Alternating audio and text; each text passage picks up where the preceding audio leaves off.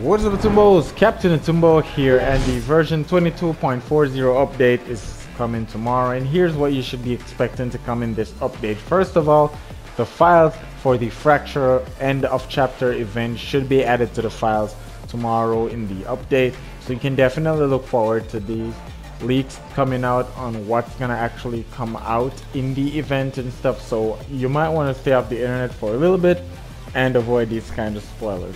Also, we're set to get the return of 50v50 in the form of 40v40 um, zero builds. And this is interesting because 50v50 was a mode before Team Rumble and it, it was it was fun. It was honestly fun.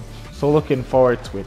The Fortnite X Rocket League collaboration, which involves the Octane coming to the Fortnite Island, not just in creative, is going to be another interesting addition. So I'm looking forward to seeing that being added as well. So that's another great thing. Also tomorrow we should be getting the Crew Legacy uh, Photonic Harvesting Tool coming to the game as well, which will be awarded to crew members. I am a crew member, so I'll definitely be getting it and you will be seeing it. And I'll probably be doing it in the gameplay tomorrow when the game updates.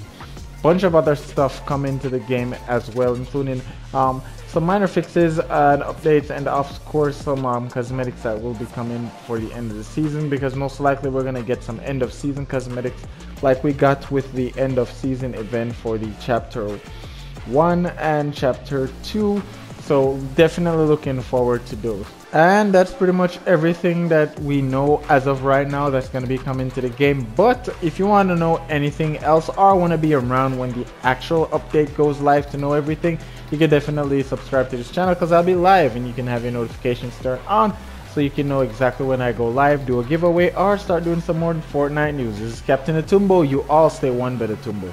And take care